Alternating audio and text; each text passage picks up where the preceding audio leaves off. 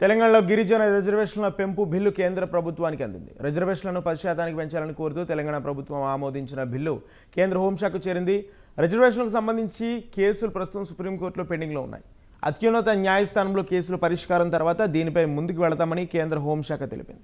TRS MP Ranjith Reddy లోక్సభలో అడిగిన ప్రశ్నకు కేంద్ర గిరిజన శాఖ మంత్రి అర్జున్ ముండా రాతపూర్వక సమాధానం ఇచ్చారు. గత పార్లమెంటు వర్షాకాల సమావేశాల సందర్భంగా తెలంగాణ నుంచి రిజర్వేషన్ల పెంపు బిల్లు రాక విషయమై వివాదం తలెత్తింది.